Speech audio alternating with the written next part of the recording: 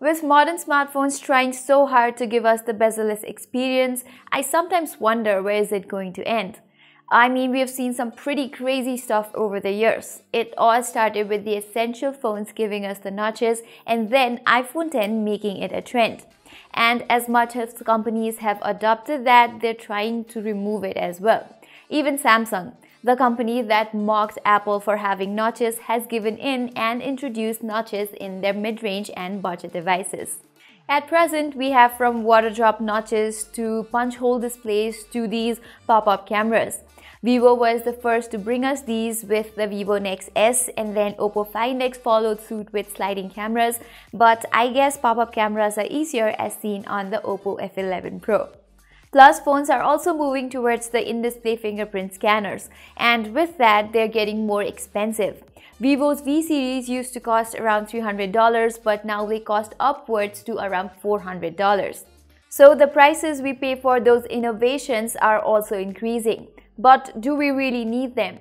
I mean, is the price increase for those gimmicky features only or is there actual improvement in other aspects as well? Let's find that out in my detailed review here. The design you see on this one is not new by any means. With smooth texture, curved edges and tapered sides with dual tone gradient coloring on a glass looking plastic body, it's getting pretty boring.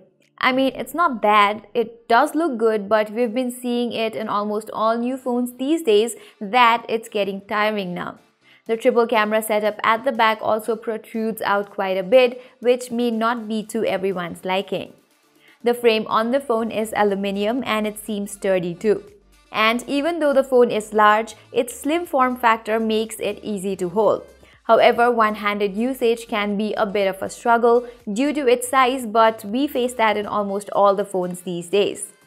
All the buttons are on the right, both power and volume buttons. You also get another button on the left to trigger Vivo's own digital assistant, Jovi. We thought it was useless on Samsung devices as well and the same goes for this one too. But this one can be remapped to Google Assistant and I think Samsung should try this as well. The headphone jack is at the top while the bottom houses the speaker grill with decent outputs and a micro USB port. Yes, still a micro USB in 2019 on a higher end mid-range device. But I guess it is what it is. So Vivo, if you're listening, I think it is high time for you to change that. There's the dual SIM slot at the bottom and a micro SD card slot on the left.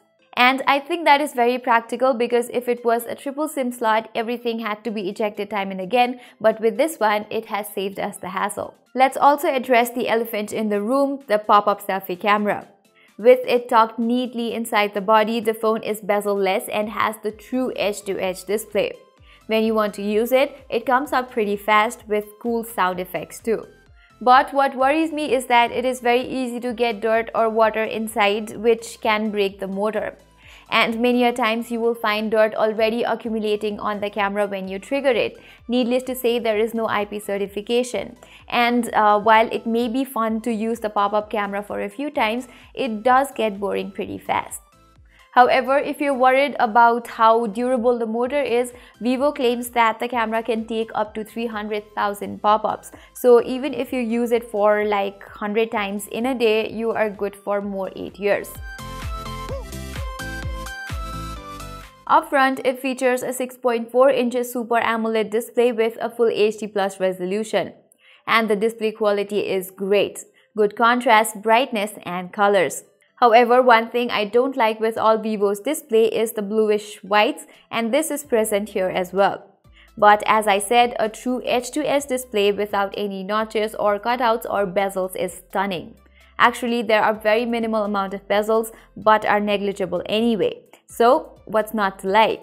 The lack of an LED notification. Yes, this tiny detail matters. It has been absent since the Vivo V11 Pro and I guess it won't be making a comeback. There's an always on display to make up for it, but that won't really show you all the notifications you get, which is strange and needs to be fixed.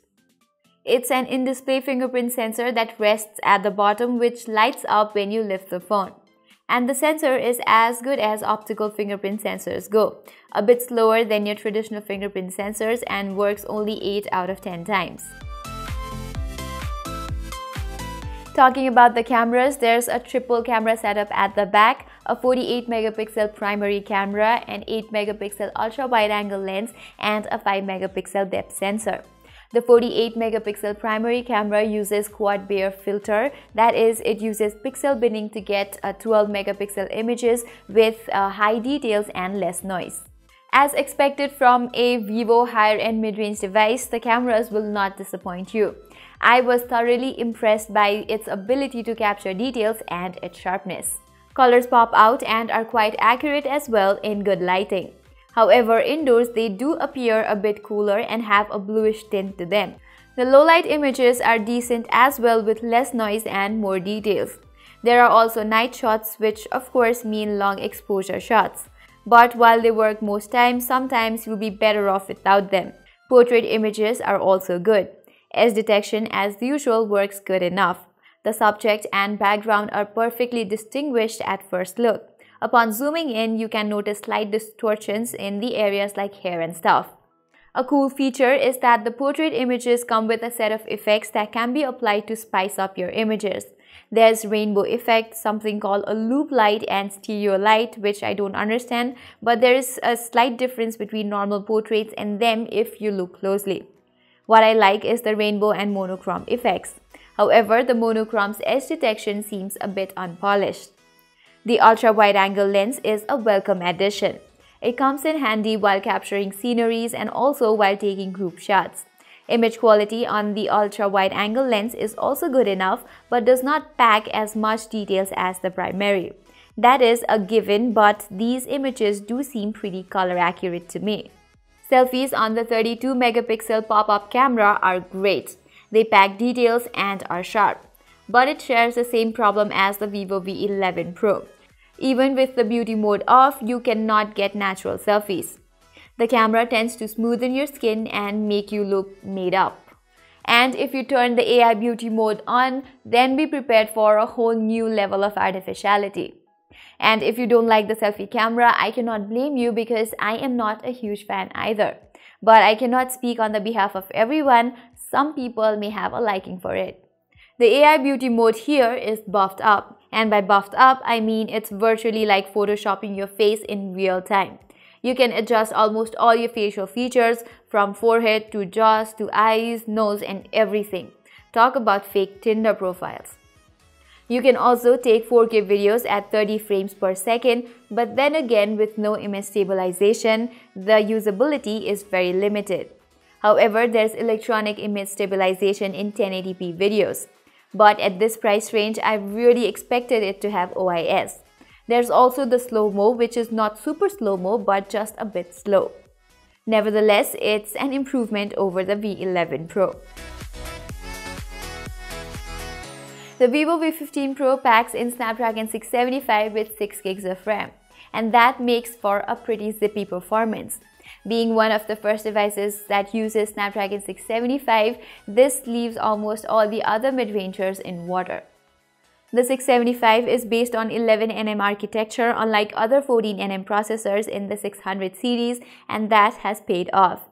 The Geekbench tests and Antutu scores don't lie.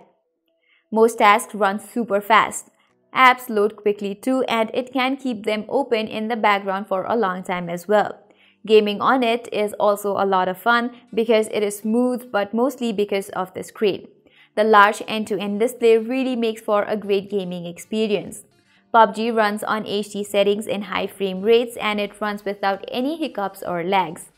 Games like Asphalt 9 and Need for Speed have no problem running smoothly either. However, how good the Snapdragon 675 is, you can get better price to performance at the same price range. You can get the Pocophone F1 with Snapdragon 845 inside, which has better performance, or the Xiaomi Redmi Note 7 Pro, which comes with the same chipset and comes for half the price. Now let's talk about the software. It has Android Pie with its own FunTouch OS on it and as I've said before, this iPhone clone-like UI is not something to like. I mean, it makes for a half-baked iOS experience. There are plenty of bloatware and no app drawer as usual, but the good thing is they have added a search button for settings. So I guess mild improvements are on the way. As for the battery, this one has a 3700 mAh unit and the battery life on it is quite fantastic. It lasts quite a bit even with the always on display turned on. Maybe it's the power efficient chipset and the AMOLED display, but even with light gaming, uh, social media and stuff, you will still have around 40% of battery left at the end of the day. Also, you get the dual engine fast charging feature on it, but it stays the same as last year's. This isn't that impressive because it takes around 2 hours to get the battery fully charged, which is what most of the other phones are giving these days, but the battery life makes up for that. As for the storage, you get a 128GB internal storage. As much as that can be adequate, you also get a microSD card slot, so no complaints on that front either. And one more thing before I dive into conclusion, facial recognition here is done by the pop-up selfie camera. There is no IR sensor like the Vivo V11 Pro, so it is not going to work very well in dark conditions. The time taken by the selfie camera to pop out and unlock your phone is also super fast when it works. And yes, it has the same problem that the Vivo V11 Pro had. It can unlock your phone with facial recognition and even with your face half covered. So it still needs to work on that front. So what do I think about the Vivo V15 Pro? Actually, my opinion about this phone remains unchanged from the Vivo V11 Pro. This phone with its triple rear cameras, the pop-up cameras and this true edge-to-edge -edge display might seem cool and futuristic. Maybe pop-up cameras will be a trend now because the Oppo F11 Pro is aboard the same train. This is a huge marketing gimmick but a very good one actually. Sure, the performance is unparalleled against other mid-rangers, but as I said earlier, there is the Xiaomi Redmi Note 7 Pro for cheap without all the bells and whistles and half-baked extras. So for a price of around $450 or 52,490 Nepal, I think the Vivo V15 Pro is a bit expensive. To those who love to have tons of extra features at their disposal and maybe something to show off, yes, this device may be for you. I initially liked this device a lot, but after using it for some time, I began to think, do I really need all this? I could not decide. Maybe you can. So that is all for the review and thank you for watching.